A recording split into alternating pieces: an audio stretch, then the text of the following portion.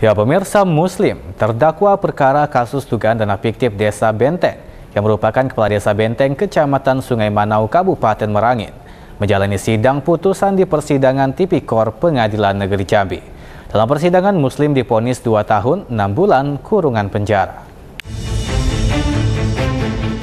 Sidang putusan perkara kasus dana fiktif Desa Benteng, Kecamatan Sungai Manau, Kabupaten Merangin, atas terdakwa Muslim selaku kepala desa.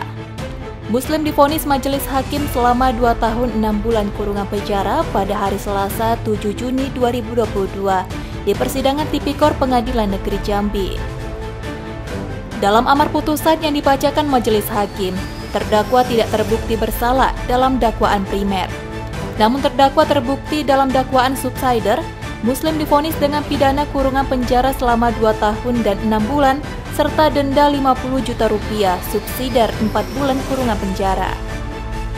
Sesuai dalam dakwaan subsidiar, terdakwa dijerat pasal 3 ayat 1 Undang-Undang RI nomor 31 tahun 1999 tentang pemberantasan tindak pidana korupsi sebagaimana telah diubah dengan Undang-Undang RI Nomor 20 Tahun 2001 tentang perubahan Undang-Undang RI Nomor 31 Tahun 1999 tentang pemberantasan tindak pidana korupsi.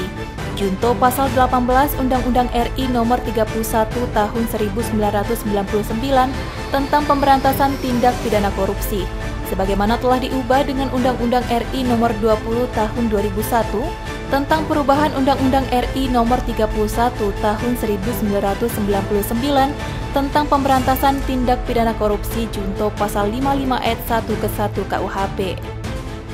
Selain hukuman penjara, Muslim diwajibkan membayar uang pengganti kerugian negara sebesar lebih 282 juta rupiah jika tidak dibayar satu bulan setelah putusan tetap, maka harta bendanya disita dan dilelang untuk negara dan apabila tidak mencukupi diganti dengan hukuman pidana penjara selama satu dan apabila tidak mencukupi diganti dengan hukuman pidana penjara selama satu tahun tiga bulan.